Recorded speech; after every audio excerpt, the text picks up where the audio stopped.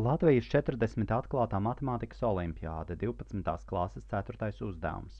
Kādas valodas alfabētā ir I patskaņi, I ir vismaz divi, un J līdzskaņi, J ir vismaz divi? Šajā valodā par vārdu sauc jebkuru galīgu burtu, tātad patskaņu un līdzskaņu virkni, kas satur vismaz vienu burtu, un kurā nekādi divi patskaņi neparādās pēc kārtas, un pēc kārtas uzrakstīti līdzskaņi ir ne vairāk kā divi. Piemēram, ja A ir patskanis, bet B līdzskanis, tad, piemēram, ABBA ir vārds, turpretī BAAB un ABBBA nav vārdi.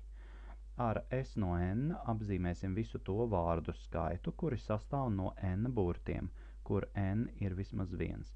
Pierādīt, ka visiem naturāliem skaitļiem N ir spēkā vienādība – s no n plus 3 ir vienāds i reiz j reiz s no n plus 1 plus i reiz j kvadrātā reiz s no n. Šajā uzdevumā mums ir darīšana ar tādu formālu valodu, kura sastāv no vārdiem, vārdi sastāv no kaut kādiem burtu savirknējumiem un ir spēkā likumi, tātad nedrīkst uh, divus patskaņus rakstīt pēc kārtas, un nedrīkst rakstīt vairāk kā divus līdzskaņus pēc kārtas. Jāpierāda formula. Lai saprastu, kas te notiek, sāksim zīmēt tā saucamo lēmumu koku. Pašā sākumā mums ir jāuzbūvē vārds no n plus trim burtiem. Mēs varam likt kā pirmo burtu kaut kādu nebūtu pats skani, ko es apzīmēšu ar, ar mazu p burtiņu un varam likt kā pirmo burtu līdzskani. Ja esam ielikuši patskani, tad otru patskani likt tur vairs nevarēs, tad nākamais būs jāliek līdzskanis. Ja turpretī mēs esam ielikuši līdzskani, tad mums ir tiesības likt patskanis te varbūt un līdzskanis. Nu un trešais burts, te uz paša augšējā mums ir līdzskanis, tad te atkal var būt divas iespējas. Var likt vai nu patskani vai līdzskani. Un šeit apakšā aiz patskaņa var sekot tikai līdzskanis, un aiz diviem līdzskaņiem var sekot tikai patskanis. Trešo līdzskani tur likt nevar. Un tālāk aiz šiem punktiņiem es varētu zaroties vēl tālāk, zīmēt visādus lielus kokus, bet es iezīmēšu tādu mākonīti, ka te ir zarošanās, un visam, kas šeit tālāk notiks, ir jābūt n burtu vārdam, kurš sākas ar līdzskani, jo vēl vienu patskani te aiz šī pēdējā p ielikt nedrīkst. Savukārt, ja man ir bijis patskanis un divi līdzskaņi, tad šeit būs mākonītis, kurš būs n burtu vārds un sākas noteikti ar patskani, jo aiz diviem līdzskaņiem trešo līdzskani es likt nedrīkstu. Ja man ir bijis līdzskanis, patskanis un atkal līdzskanis, tad šeit var atkal likt n burtu vārdus, bet te ir piņķerīgi. Varētu gadīties, ka viņš var sākties ar līdzskani, bet ne ar diviem līdzskaņiem un tā tālāk. Man būs vieglāk izdarīt tā, ka es šo te noēdīšu nost un teikšu, ka es aiz līdzskaņa un patskaņa šajā zarā likšu vārdu, kurš sastāv no n plus viena burta, jo divus burtus es esmu iztērējis, un to līdzskani es pielipināšu klāt tam mākonītim. Tad man būs n plus viens burts, un sākas ar, ar līdzskani, jo es šajā zarā esmu paņēmis līdzskani, patskani, Nu, un tad aiz šī līdzskaņa un patskaņa es drīkstu likt jebko, bet tā kā man visā vārdā vajag n plus 3 burtus, tad es likšu n plus vienu burtu, kas sākas lūg ar šo te līdzskani, kuru es te nometu nost. Un šeit, ja man bija divi līdzskaņi un pēc tam patskanis, aiz tā drīkst sekot atkal tāds zarošanās visāda, kurā ir n burti, un kas sākas ar noteikti ar līdzskani, jo otru patskani rindiņā es te nedrīkstu likt. Nu, man ir izdevīgi ieviest apzīmējumus. ja man S no N bija visu vārdu skaits ar bur N burtiem, tad uh, man būs tāds vēl apzīmējums L no N. Tie ir N burtu vārdi, kas sākas ar līdzskani. Vienalga ar kuru no tiem J līdzskaņiem. Un analoģiski P no N būs N burtu vārdu skaits, kas sākas ar patskani. Nu, un tas viss, ko es šeit esmu uzzīmējis, tas uh, lielais sazarotais koks nav nekas cits kā s no n plus 3. Tātad visi veidi, kādos es varu iegūt vārdus ar n plus 3 burtiem. Mēģināšu to koku pārveidot. Tātad ir praktiski to s no n plus 3 var dabūt četros dažādos veidos. Pirmais veids ir ielikt PLP, tas ir pašu augšējo zaru patskanis, līdzskanis, patskanis, aiz kura seko L no N.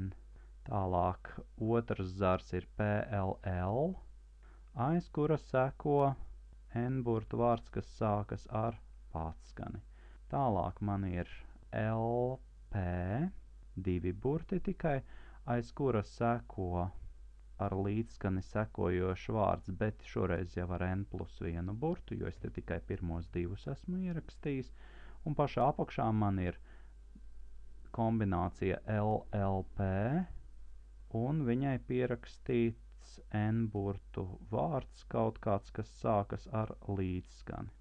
Lai būtu drusku vienkāršāk, es tagad arī izdarīšu tādu kombināciju. Es šo P pielipināšu klāt pie sekojošā vārda, un man iznāks, ka, ja es esmu paņēmis patskani līdzskani, tad aiz patskaņa līdzskaņa es varu likt vai nu vēl vienu līdzskani, tā kā ir šeit, un tad man sanāks uh, pie, pielipināto P no N, vai arī es ņemu patskani līdzskani, un tad es visu šo te nosvītrošu un aizstāšu ar vārdu, kas sākas ar patskani, bet satur N plus vienu burtu man tas vienkārši būs izdevīgi šāds te pārveidojums. Tad tagad vienkārši šo te burtiņu P pielipināju klāt pie sekojošās izteiksmības. Tagad man tagad ir četri veidi, kā es varu uzkonstruēt vārdu no n plus trim burtiem. Nu, un šeit jau mēs varam ieraudzīt kaut ko līdzīgu tai mūsu formulai, kas mums bija jāieved. Bet sāksim aplūkot visus dažādos veidus, kombinācijas, kādās es varu izvēlēties, piemēram, patskani, ko, eh, patskani kopā ar līdzskani. Patskani, aiz kura seko līdzskanis, tas ir šāda veida vārdus. Viņu eksistē tā kā patskaņu ir pavisam i, un pirmo burtu es varu tad izvēlēties i veidos, un līdzskani es varu izvēlēties j dažādos veidos. Tātad šādu mazu vārdiņu PL, kur patskanis un aiz viņa seko līdzskanis, šādu būs pavisam īrais jē. Gluži tāpat tādu, kur ir līdzskanis patskanis, tādu būs, nu tas ir tas pats īrais jē faktiski.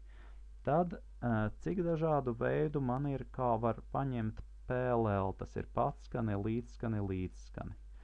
Tā kā patskaņu man pavisam ir I gabali, tad es vispirms paņemu kādu no tiem īpatskaņiem, pēc tam es paņemu vienu no līdzskaņiem, un pēc tam neatkarīgi no tā pirmā līdzskaņa es vēl ņemu otru līdzskani. Nu, teiksim, ja man bija divi patskaņi, A un E, un līdzskaņi man būtu B, C, D, tad tādā gadījumā tādu, kur patskanis, līdzskanis, līdzskanis, es šādas kombinācijas varētu uztaisīt 2 reiz 3 reiz 3, tātad 18 sāktos man viss vai nu ar A vai nu ar E, un pēc tam aiz tā varētu sekot vai nu B vai C vai D, šeit atkal B vai C vai D, un pēc tam katram no šiem galā es atkal varu piekabināt B, C, D, un ja jūs saskaitīsiet visas šīs vārnu kājai nadziņus, tad jūs dabūsiet pavisam 18 iespējamos vārdus, sākot no ABB un tā tālāk, un pats pēdējais vārds būs EDD. Un šo vārdu pavisam kopā būs 18 gabali. līdzīgi mēs pamatosim, kā ņemt līdzskani, līdzskani, patskani, to arī var izdarīt j reiz j reiz i, jeb tajā pašā i reiz j reiz j, jeb ij kvadrātā dažādos veidos. Nu, un ko es šeit esmu dabūjis? Pārveidojot šo izteiksmi, kur s no n plus 3 tiek izzīmēts četros visos iespējamajos veidos, sanāk, ka šo veidu bija i reiz j reiz p no n plus 1. Šo veidu ir i reiz j reiz l no n plus 1. Šādu veidu būs i j kvadrātā reiz p no n, un šo veidu būs i j kvadratā reiz l no n. Nu, tagad atliek tikai atcerēties, ka saskaitīt p no n plus 1 un l no n plus 1 ir tas pats, kas s no n plus 1 un līdzīgi mēs varam saskaitīt arī šos kopā. Nu, un mums iznāk uh, meklētā sakarība, tātad s no n plus 3 ir vienāds i reiz j reiz l no n plus 1 plus p no n plus 1 plus ij kvadrātā reiz l no n plus p no n. Un savalkot kopā, tā kā ik viens vārds sākas vai no nu ar līdzskani vai ar patskani, tad mēs iegūstam i reiz j reiz s no n plus ij kvadrātā reiz, piedošana, te ir n plus 1, reiz s no n.